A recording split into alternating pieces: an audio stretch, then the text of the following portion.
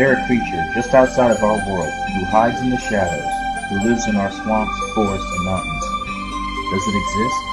Where did it come from? Find out on the Revelation 13 podcast.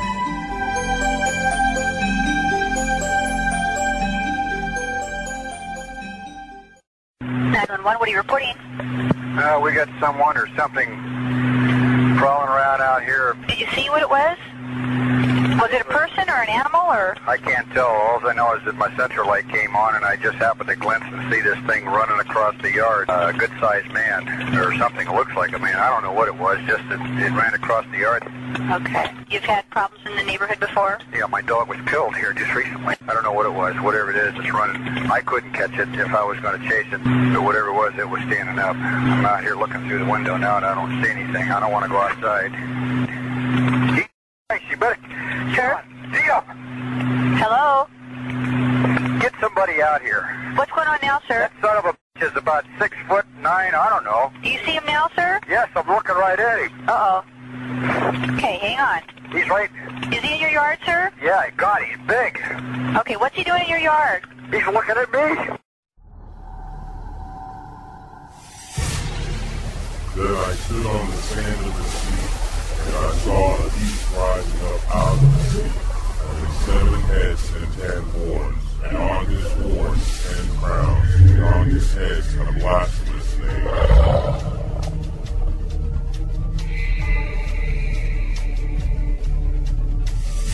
Welcome to the Revelation 13 podcast.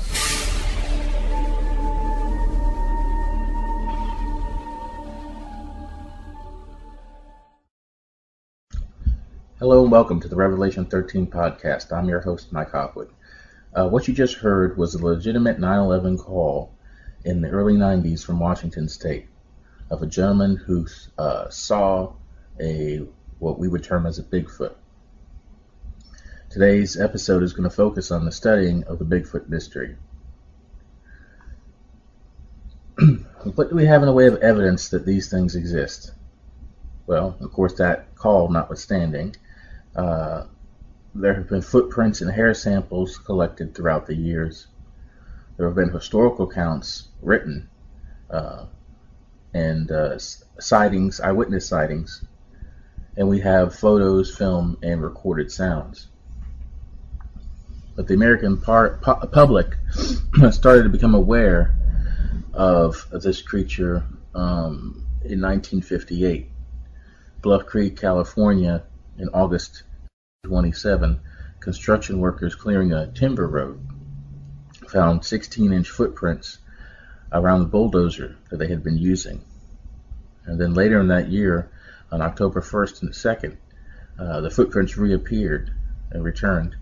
Um, this time they were able to make casts, and the story ran in the papers, and they took pictures and ran in the papers.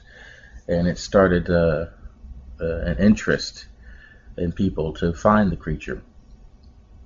Because about this time, there had been the reports of the abominable snowman, so that had enlightened some people as to the possibility of an upright walking ape in uh, mountain or forest regions of the United States, potentially.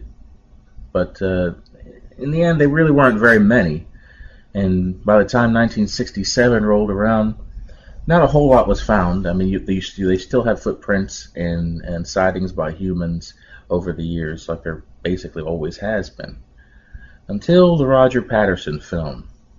And then, for the first time, the American public got to see a seemingly legitimate film of what had been reported by people for years, and in some, in some cases, hundreds of years. On our first landing in the New World, we came across these horribly ugly monsters. They were hairy and swarthy, with great black eyes. Leif Erikson, 986 AD. Leif Erikson was a Viking explorer who was blown off course while going to Greenland, and he discovered America in 986 AD and they were but they were unable to maintain a permanent settlement because of the Indians and the conditions in uh, Canada. The, uh, the, their actions though were recorded in the saga of Eric the Red, And this report was generally discarded by science until relatively recently when proof for the settlement was found. In 1840, Elkanah Walker, a missionary to the Spokane Indians, wrote about the creature.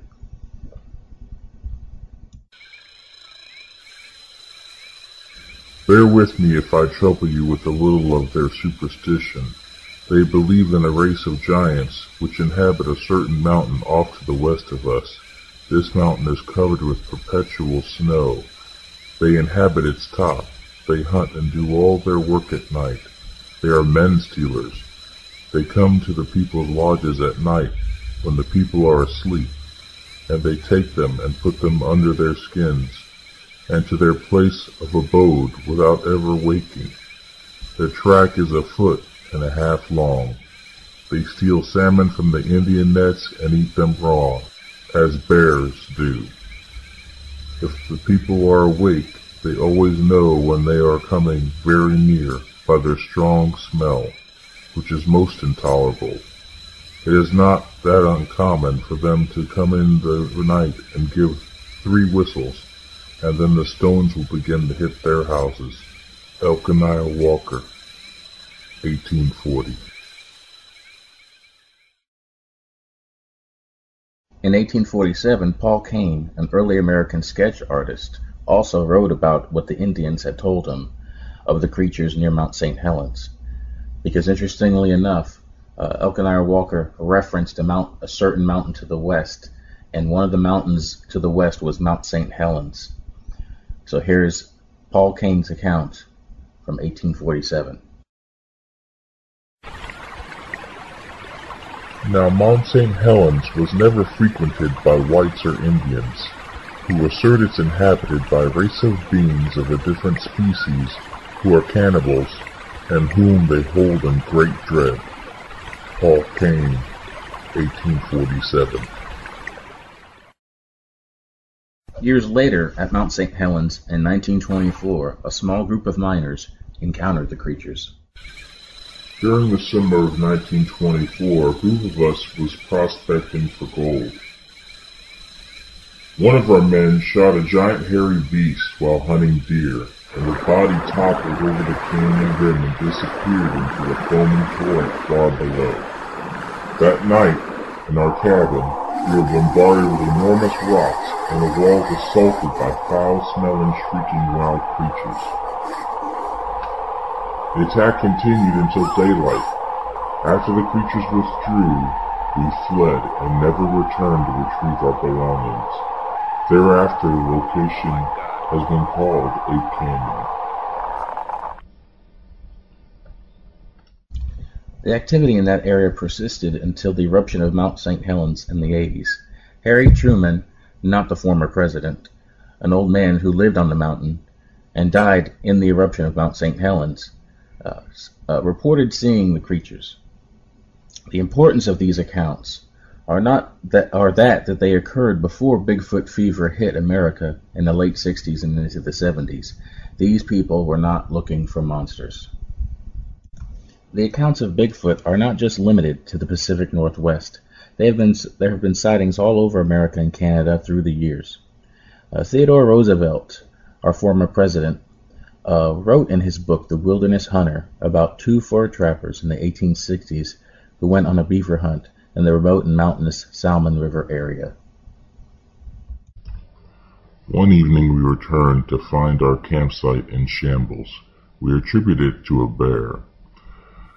But at midnight we were awakened by some noises. Immediately we smelled a strong odor. I could see the shape of its body in the shadows. I grabbed my rifle and fired. We could hear it run into the woods. The next night we kept a large bonfire to keep it away, and we took turns watching for the beast. At dawn we decided to leave. I went to fetch the traps, while my partner stayed to break camp. When I came back, my partner was dead. His neck was broken, and there were teeth marks in his throat. I jumped on my horse, and I didn't stop until I found safe refuge.